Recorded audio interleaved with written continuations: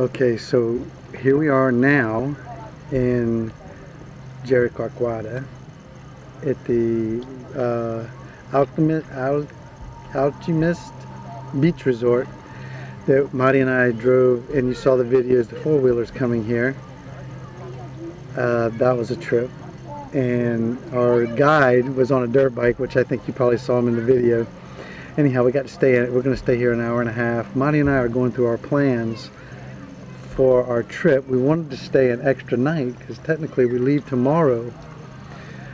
And we tried to bump our flight up for an extra day and they, they wouldn't do it. So we leave out tomorrow morning at 6 o'clock.